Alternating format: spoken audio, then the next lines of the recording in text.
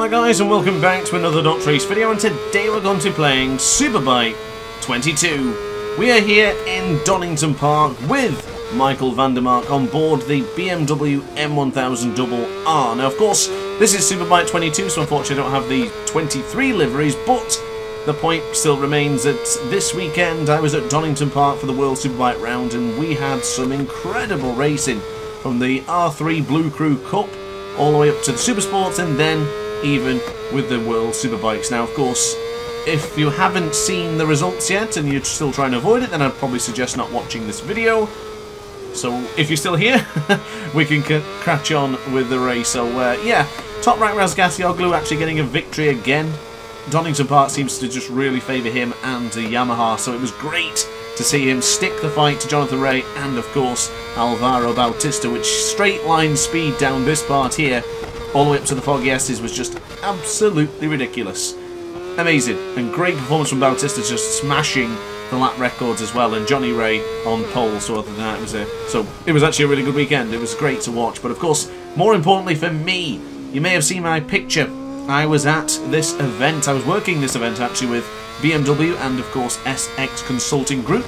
Together we were working on uh, promoting Ride 4 to the public and getting players to come and try the game right here at the circuit. We were just near the paddock show, which of course you may have seen some pictures already on my social medias, but it was pretty damn cool.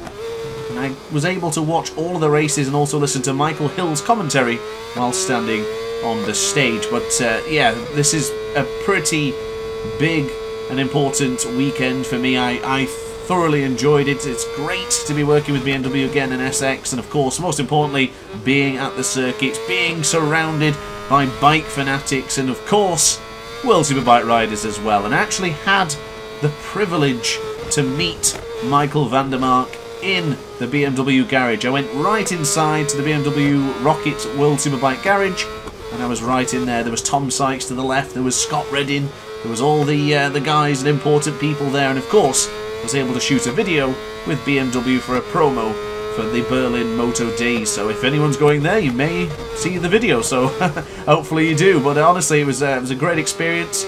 Michael van der Mark is one hell of a guy. So likable. Of course, he comes out across that way in the videos, and of course, even when watching on the television. But honestly, he was so welcoming and just a great guy to speak to. We had a good laugh, a bit of banter, and of course we did our video so it was a, a, lot of fun I really really enjoyed it so thank you to BMW for the opportunity to that it was phenomenal to say the very least but it was a great weekend all around. I've very much enjoyed it. Shout out to Thomas my uh, colleague over the weekend.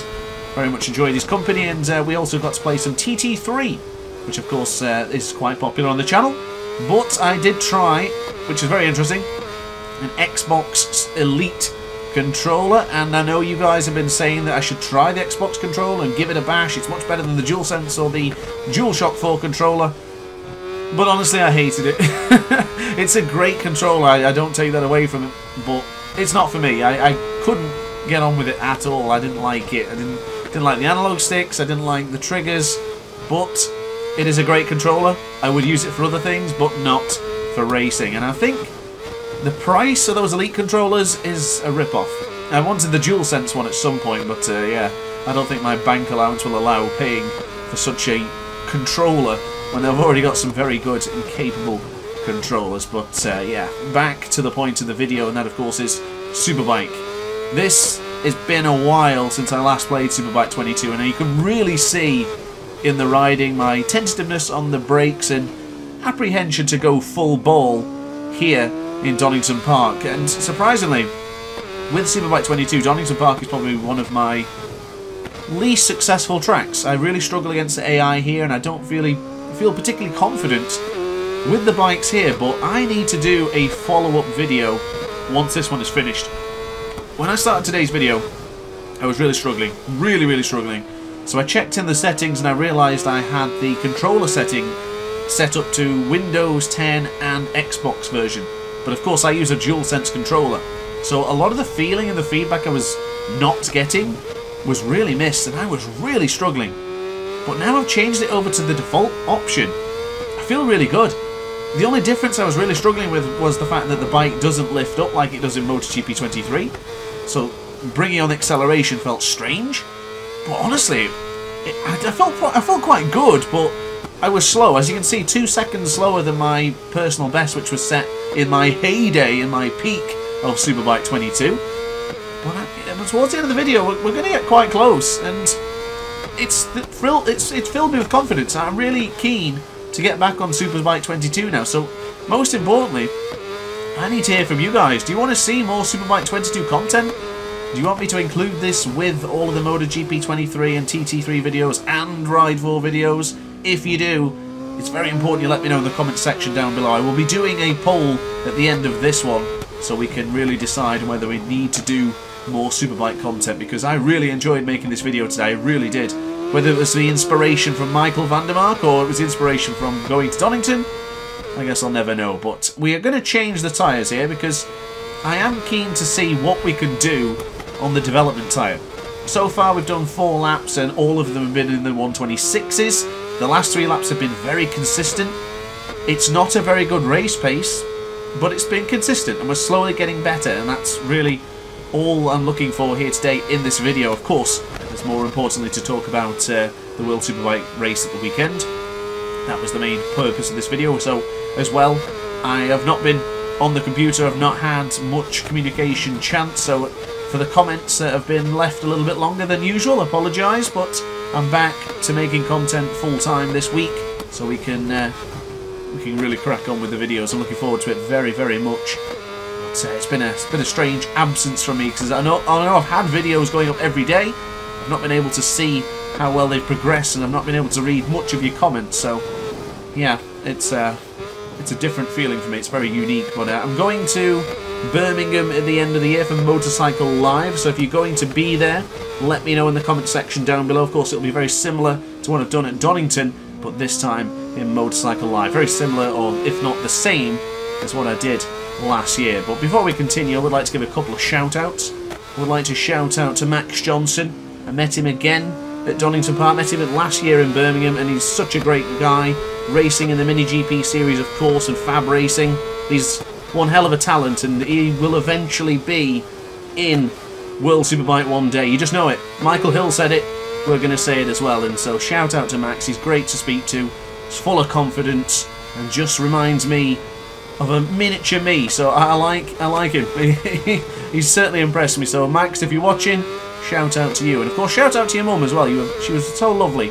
She mentioned about getting me a Prime energy drink, which I've never tried.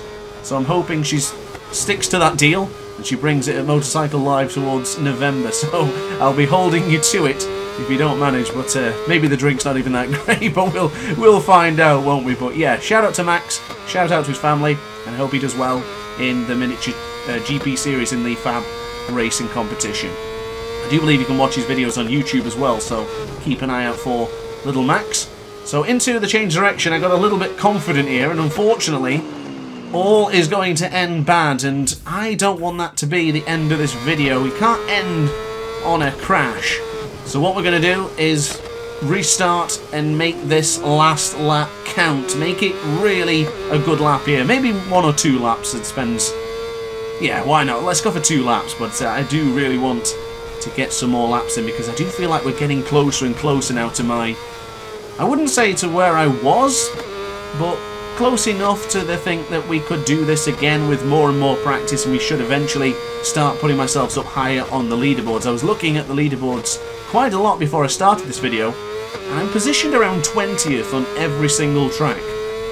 I don't see why we can't get a top 10. I do appreciate that this track has 10 riders in the top 10 capable or former or current esports players. So that's that's a big challenge to get into the top 10. But if we can get close enough and reduce that gap, then I'll feel a bit better. I think in Mandalika I'm very close to Jackhammer's time, so hopefully I can get closer too. And uh, now, whilst I've just remembered, I do need to give a shout out to the Marks One, a recent Dr. Ace channel member. So I do appreciate you uh, subscribing to the channel membership. And every single bit that you guys provide helps, and I really do appreciate that support. So Towards the end of the video, I do have all of the channel members at the end of the video just to say a big thank you. I don't think I say thank you enough, so that's a great opportunity to say thank you there. But the marked one, you will be added to the next one because I've uh, not had chance to really do anything since I came back from Donington, so I'm trying to catch up as much as I can. But rest assured, for the rest of the outros, your name will be on there. So, back to the action. We did improve a 125.575 with VDM. This lap is not looking as promising, but we'll see if we can catch it up as we... Oh, just touched the apex into McLean's. That is the Superbike 22 rumble strips for you. The curbs are... Oh, we're pushing into Coppice. Yep, we're going for it. we're really pushing now. But we have lost half a second. So it will not be an improvement. But since the inhibitions have gone, let's go for it. Why not make the last lap count? Why not just absolutely wing it now with VDM? into the Melbourne Loop. We were positioned on the other side of this near the paddock show. Onto the firmest part of the tyres into the Melbourne Loop. But I tell you what, we closed in quite a lot there on the time. Look at the graphic in the top right corner of your screen. If we get Goddard's right, we could actually get very close here. We have tackled Goddard's pretty well. Bring on the power.